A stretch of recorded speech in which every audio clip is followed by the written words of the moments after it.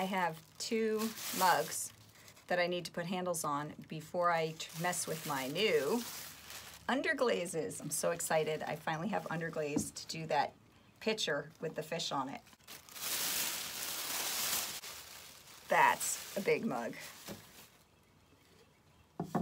Check out how big this is. it's a two-hander.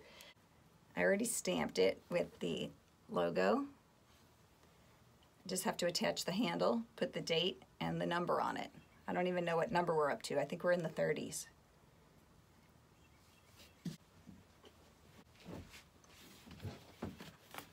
I extruded some handles yesterday, which I made with the homemade extruder. There's a video that shows that. Um, it'll be up here. We can put it in the little circled eye. So you can see that video. I make handles and I bend them into shape and then I just let them rest in a, you know, Tupperware or whatever. There we go.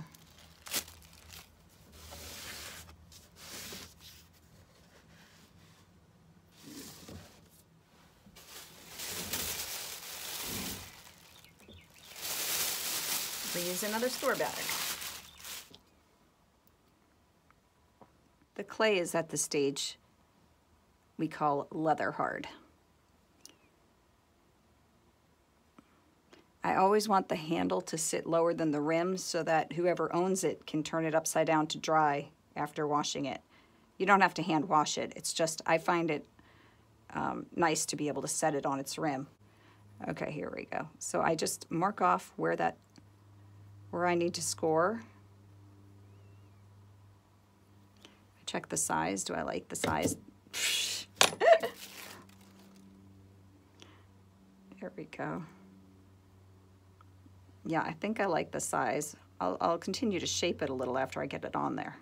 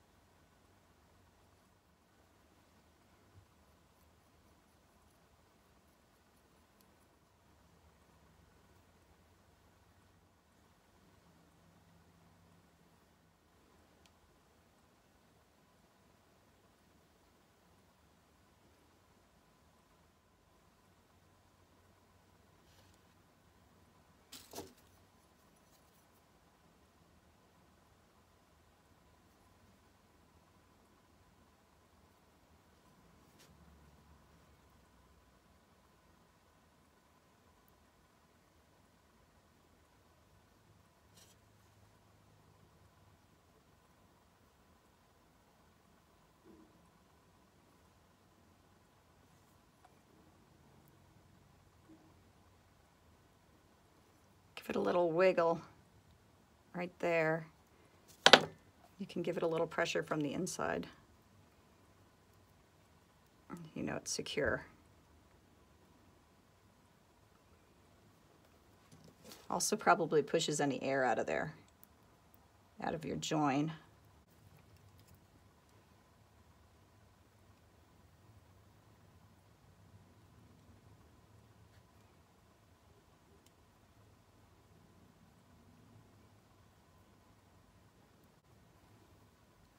Like to look at it from the top. Adjust it now,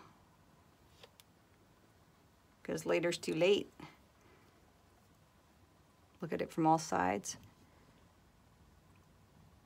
See if it lines up.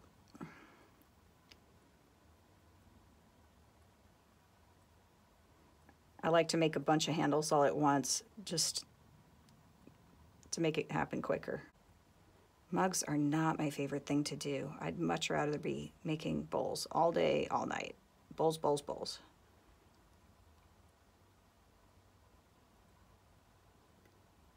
which is funny, you know, kind of trained as an artist, but I really like monotony sometimes.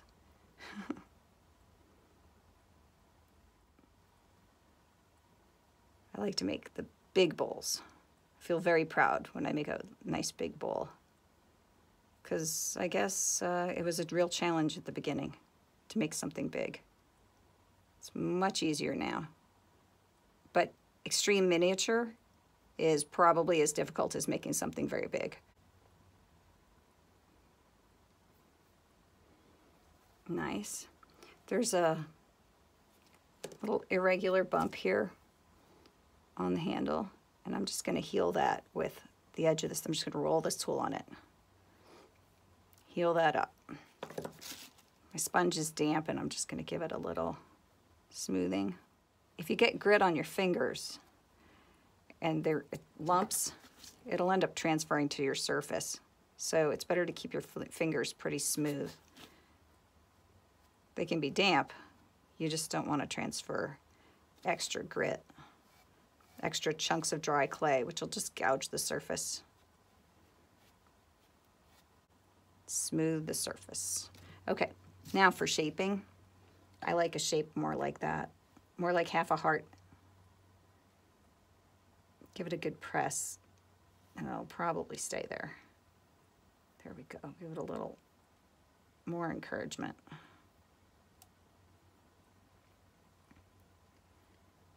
I don't like a big blunt area right here at the base. I notice my fingers bump into it, so I like to smooth that down. But I still like to see, I still like to see a little extra holding it on there.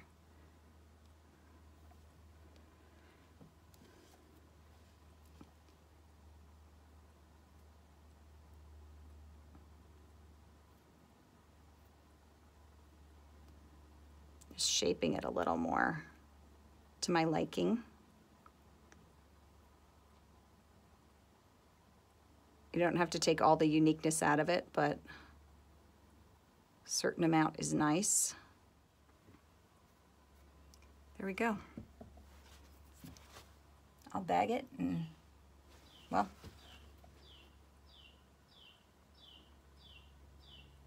there's a little spot there I think I need to heal with the brush.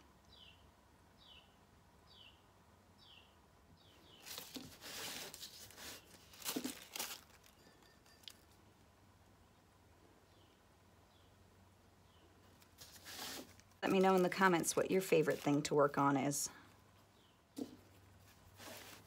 Something you'd be willing to do all day if you could. I'd be on the wheel throwing and just trimming and somebody else could do my glazing for me. That would be fine. there we go. I don't know what color this one's going to be.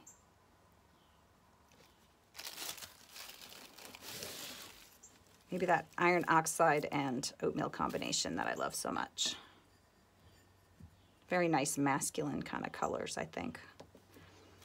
Okay, so this one will be number 38.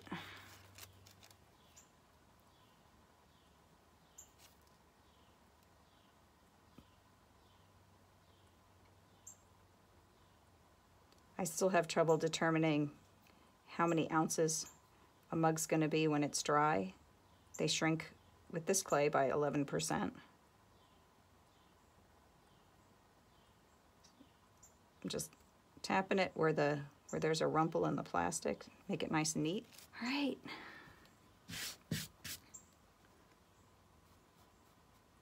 Just gonna clean up any irregularities before I set it out to dry.